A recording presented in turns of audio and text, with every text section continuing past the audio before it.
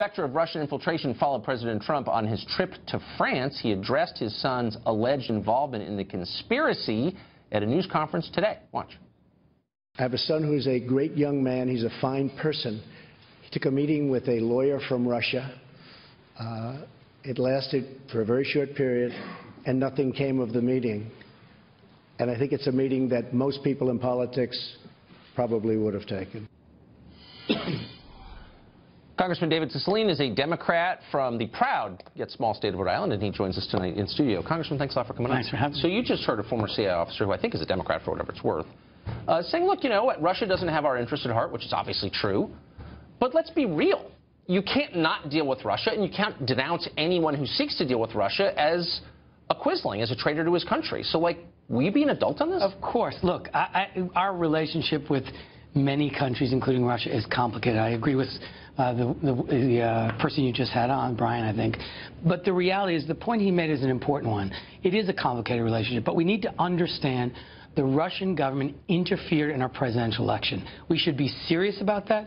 We should conduct the ongoing investigations. We should hold them to account. We should sanction them. We should make it clear, don't you ever do this again to America. Look, I mean, like, how honest do we want to be here? No, no, let like, me just how say- many, is, is Russia the first government to interfere doesn't in matter. our election? No, I'm just asking. No, no, I'm we're sure so outraged it's not. by this. We just- should be You're sure outraged by not? the time, at the time that any foreign Well, government with- I- interferes in presidential elections. I'm with you and there. The, the reality is, Uh, it is very important that the Russians understand, by the way we respond to this interference, that America is not going to allow that. That we hold our democracy to be sacred. Not gonna allow and what Is exactly? not going to allow the government to participate in using hacked, stolen emails, putting Russian uh, internet bots uh, onto the internet to promote Russian RT propaganda. This is the conclusion, wait, hold not on, of wait, mine. wait, wait, stop, stop, This is No, the no, conclusion you're a member of Congress, you four intelligence agencies and agreed to It by was 17. I'm glad you- No, 17 who agreed to the findings You of four. don't need to point to bureaucrats to justify your point. No, no, I'm not talking about bureaucrats. These are these are intelligence professionals. they're Let's not diminish them. They're- I'm not these are men and women who them. I- I risk their of lives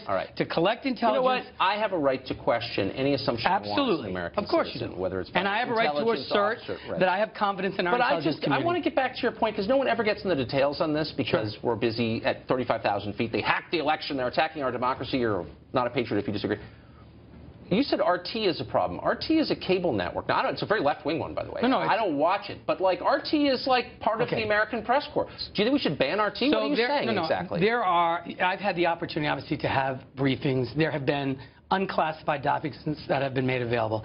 It is the conclusion of our intelligence agencies, four intelligence agencies, and the agreement of 17 that the Russian government, led by Vladimir Putin, engaged in a very sophisticated effort to undermine the election of Hillary Clinton. I get it, but let's be But, and the specific. I mean, I specifics are. So what is to RT what role does RT play in this? promoted propaganda, fake stories that were then retweeted on the internet by a Oh. sophisticated So, so, so what's Russian. the point? So what you're saying is that if a news organization puts out stories No, this you isn't a news organization. This RT is not is a new. RT is Ed a Schultz. Russian Larry King propaganda machine, Oh, and so you know should it that. be allowed? It- it- that's not a question of should be allowed. Well, then what's the, your point? The point is they took, they facilitated the release of stolen emails, a hack into Well, the so DNC. did the New York Times. A, a hack into the DNC. Wait, RT hacked into the No, no, they facilitated the release. How? What does that mean? It- they facilitated. My news organization ran those No, too. excuse me. Am I the a criminal Russian, too? The intelligence agencies of the Russian government hacked into the DNC, facilitated the release of those through WikiLeaks.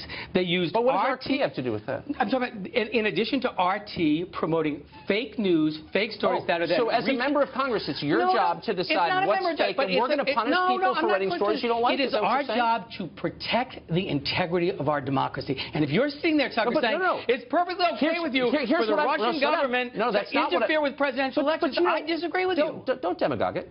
I'm not I'm not saying that, and you know I'm not. Well, I'm you- asking you specific questions that you don't want to answer. No, I'm answering You them. throw out RT as a problem, and I'm asking, in what way is RT a problem, and what should we do about Uh, it? well, there's nothing we can do about it. Oh, they then- can, they, Russian propaganda can do this, but what we can do is protect our democracy from it, and we can. How least- can we protect our democracy from RT? We can punish the Russians for what they did. We can impose For having a cable network here. No, no, it's not a cable network. It's Russian propaganda that promotes false information that gets reposted on the internet, shared with What, viewers. what role does Larry King play in this?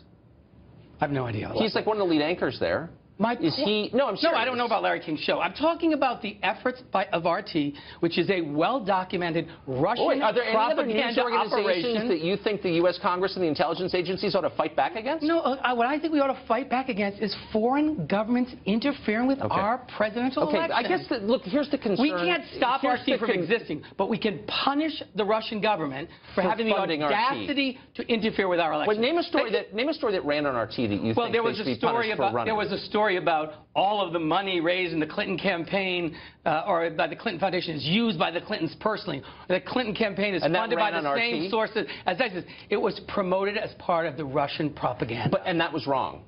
of course, it's wrong. Okay, so you don't like a story in RT, so we need to punish the No, no, Russian no, it's not a government. question of not like it. We have to understand we okay. are against fighting you against can a very why- sophisticated. Right, no, I get all the Well, adjectives, but no, I just no, want to get to the this core is Russian intelligence service trying to undermine. Right, By the way, it's not just here. They did it in France. They tried to do it in Germany. it they are trying to destabilize Okay, Western democracies you're doing is you're getting louder and broader. No, I'm trying to get you to get quieter and more precise. Because it's important. Okay, I, I know it's important, and because it is, I, I want specific answers. So, but let me just ask you an overview question, since that's where you want to go. Even if everything you say is right, I wonder if it speaks to the suffering of the people you represent in Providence. And there have been some Democrats, wise ones, in sotto voce voices saying, you know what, we're not going to win elections on this because it doesn't speak to the needs of ordinary people. We're spending all of our time on this Tucker, you you asked me to be on the show to talk about this because it's, it's helpful to your viewing audience. This helps you. I'd like to No, talk I don't about. think it actually is No, helpful to I'd my like to talk audience. about. I think they're pretty sick of Russia. America I know. I am. I'd like to talk about the fact that we haven't done an infrastructure bill. I'd like to talk about passing my legislation to make college more affordable. So then why is Nancy Pelosi out there hammering the Russia question? Why is Maxine Waters calling the Republicans unpatriotic You asked me what, what I think. I think it is Well, it's a your caucus. tragedy. It's your leader. But I'm, I'm responsible for my own conduct, and I continue to say that we should be focusing on the issues that matter to Rhode Islanders. That's creating good-paying jobs, Good. repairing our infrastructure, making college more affordable, securing the future of, of Medicare and Social Security. That's what we should be talking Good. about. The Well, real, the real But tragedy. you of- can't help yourself because Donald Trump Jr. you don't want to the talk, you don't want to invite me on that show to talk about those things because you want to talk uh. about Russia because it's salacious and people watch your show because Actually, of I don't think I think people are sick of it. I wish I so could have me on and talk about some of my legislation. I guess I'm just too shallow, Congressman. Thank you for having us. Thank you for having Thank you for coming.